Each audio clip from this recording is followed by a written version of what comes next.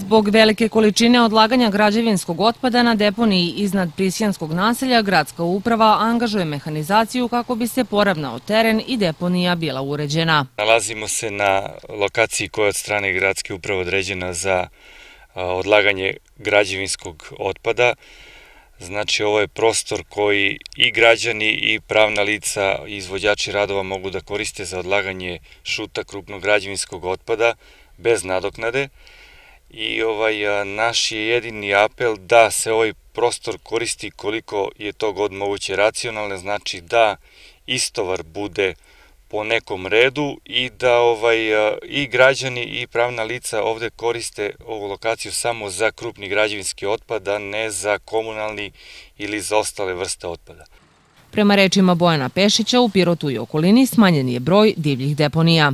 Poređenju sa ranim godinama ima manje divljih deponija u gradu i u selima, e, iz prostog razloga što je ne samo ova deponija određena za ovu vrstu otpada, već i iz razloga što je veći broj sela koje gravitiraju prema gradu e, u poslednje četiri godine dobio kontejnere i komunalac redovno vrši odvoz komunalnog otpada. Tako da ima određeni broj e, lokacije koji dalje postoje i mi se trudimo svake godine da kroz budžet odvojimo određena sredstva upravo za čišćenje i saniranje tih divljih deponija.